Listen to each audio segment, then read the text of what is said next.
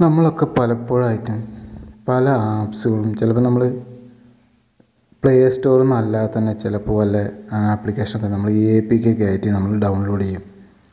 അപ്പോൾ ചിലപ്പോൾ പ്ലേ സ്റ്റോറിലുള്ള ആപ്ലിക്കേഷനും ഉണ്ടാവും. അത് വരില്ല എന്ന് പറയാൻ കഴിയില്ല പ്ലേ സ്റ്റോർ അത്ര സുരക്ഷിതമാണെന്നൊന്നും പറയാൻ കഴിയില്ല ഒരുപാട് ആപ്ലിക്കേഷനുകൾ പ്ലേ സ്റ്റോറിലുമുണ്ട് അപ്പോൾ നമ്മുടെയൊക്കെ ഫോണിൽ ഈ ആപ്ലിക്കേഷനും അതുപോലെ എ പി കെ ഒക്കെ ആപ്ലിക്കേഷന്റെ ഫയലുകൾ എ പി കെ നമ്മൾ ഡൗൺലോഡ് ചെയ്യുമ്പോൾ നമ്മൾ അതിന്റെ കൂടെ നമ്മൾ അത് ചിലപ്പോൾ നമ്മൾ ഡൗൺലോഡ് ചെയ്യുന്ന ഒരു സ്പൈ ആപ്പ് ആണെങ്കിൽ അത് നമ്മളുടെ ഫോണിനെ അതുപോലെ നമ്മളുടെ ഫോണിലുള്ള നമ്മുടെ എല്ലാ ഡീറ്റെയിൽസും അത് മുഖാന്തരം ആ സ്പൈ ആപ്ലിക്കേഷൻ മുഖാന്തരം അവരെടുക്കും. അപ്പോൾ അത്തരം ആപ്ലിക്കേഷനുകൾ നമ്മളുടെ ഫോണിൽ ഇൻസ്റ്റാൾ ആയിട്ടുണ്ടോ?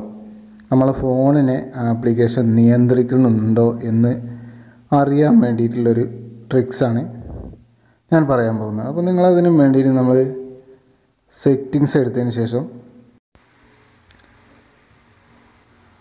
സെറ്റിങ്സിന്റെ സെർച്ച് ബാറിൽ ഡിവൈസ് എന്ന് സെർച്ച് ചെയ്യുക. ഡിവൈസ് എന്ന് സെർച്ച് ചെയ്യുമ്പോൾ അവിടെ അതിൽ ഒരുപാട് ഓപ്ഷനുകൾ വരും. അപ്പോൾ നമുക്കതൊക്കെ ഒന്ന് സെർച്ച് ചെയ്ത് നോക്കാം. ഒന്ന് നോക്കാം. ഇൻക്രിപ്ഷൻ അതുപോലെ നമ്മൾ ഏതൊക്കെ ആപ്സുകൾക്ക് നമ്മൾ നമ്മുടെ ഫോണിന് അലോ ചെയ്ത് കൊടുത്തിട്ടുണ്ടെന്ന്. അതായത് നമ്മളെ ഫോണിന് വെറും അലോ കൊടുക്കുമ്പോൾ അതോടൊപ്പം നമ്മൾ ഏതൊക്കെ രീതിയിലാണ് നമ്മളെ ഫോണിനെ ബാധിക്കുന്നുണ്ടോ. ഇപ്പോൾ സ്ക്രീനിങ് അപ്പോൾ ഓരോ കാര്യങ്ങൾ നമുക്ക് നോക്കി നോക്കാം.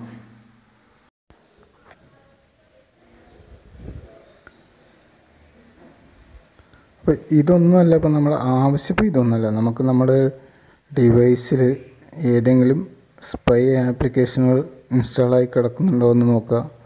അത് മാത്രമാണ് ഇപ്പോൾ നമ്മുടെ ആവശ്യം. അപ്പോൾ നമ്മൾ എന്ത് ചെയ്യുക നമുക്ക്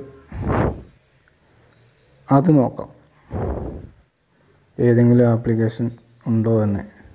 നമ്മൾ ഡിവൈസ് അഡ്മിൻ ആപ്സ് അപ്പോൾ അതിലൊന്ന് ചെക്ക് ചെയ്ത് നോക്കുക അപ്പോൾ അതിൽ കൈ ഫൈൻഡ് മൈ ഡിവൈസ് എന്നല്ലാതെ ഡിവൈസ് അഡ്മിൻ ആപ്സ് എന്നുള്ളതിൽ ഫൈൻഡ് മൈ ഡിവൈസ് ആപ്സ് എന്ന് അല്ലാതെ വേറെ ഏതെങ്കിലും ആപ്ലിക്കേഷൻ നിങ്ങളുടെ ഡിവൈസ് അഡ്മിൻ ആപ്പായിട്ട് കിടക്കുന്നുണ്ടോ എന്ന് ഒന്ന് നോക്കുക അപ്പോൾ ഈ ഒരു ഇത് നമുക്ക് ഡിലീറ്റ് ചെയ്യാൻ കഴിയില്ല. ഇത് നമ്മൾ മൊത്തത്തിലുള്ള ഫോണിനൊക്കെ ആക്സസറീസ് ചെയ്യുന്ന ഇതിന് അപ്പോൾ അത് നമുക്കൊന്നും ചെയ്യണം. അതുപോലെ അത്തരത്തിൽ വേറെ ഏതെങ്കിലും ആപ്ലിക്കേഷൻ ഉണ്ടെങ്കിൽ നമ്മുടെ ഡിവൈസ് അഡ്മിൻ ആപ്പായിട്ടുണ്ടെങ്കിൽ അതിനെ എന്ത് ചെയ്യാം? നമുക്ക് അവിടുന്ന് ഡിലീറ്റ് ചെയ്യാനുള്ള ഓപ്ഷൻസ് ഒക്കെ ഉണ്ട്.